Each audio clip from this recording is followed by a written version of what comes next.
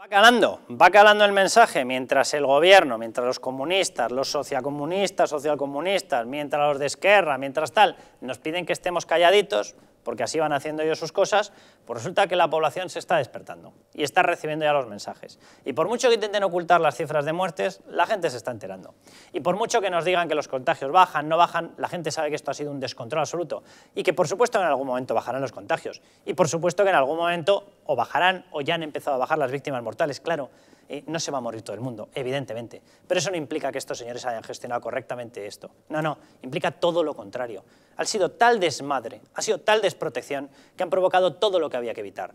Carestía, falta de aprovisionamiento, de mascarillas, de test, de cualquier tipo de EPI, han provocado colapso sanitario, han provocado la falta de respiradores, la falta de UCIs, no han sabido gestionar su mando único, lo decretaron, paralizaron las compras que estaban haciendo las comunidades autónomas. Cuando se dieron cuenta de que eran incapaces de hacerlo porque son unos ineptos máximos, devolvieron de urgencia la competencia, lo hicieron a medias, luego les requisaban cosas de las que traían las comunidades autónomas para anotárselas ellos en las ruedas de prensa.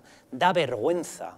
Literalmente da vergüenza lo que ha ocurrido y lo que sigue ocurriendo con esta gente, Jesús Ángel. Yo le animo a todo el mundo a sumarse a esas caceroladas porque es la única forma que tenemos de expresarnos libremente contra esta barbaridad.